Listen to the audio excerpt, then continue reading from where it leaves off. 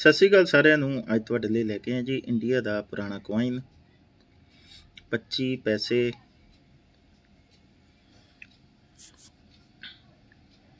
ਸਾਲ 1980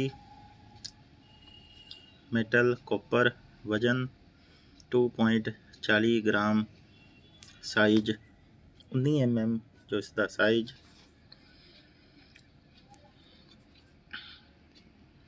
ਇੰਡੀਆ ਦੇ 25 ਪੈਸੇ ਜੀ।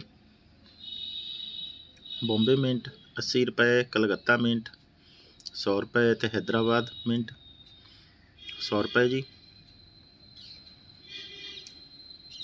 ਜੋ ਤੁਸੀਂ ਇਸ ਦਾ ਰੀਅਲ ਪ੍ਰਾਈਸ ਵੀਡੀਓ ਵਿੱਚ ਦੇਖ ਰਹੇ ਹੋ, ਘਰ ਬੈਠੇ ਹੀ ਨੋਟ ਔਰ ਸਿੱਕਿਆਂ ਦੀ ਜਾਣਕਾਰੀ ਪ੍ਰਾਪਤ ਕਰੋ।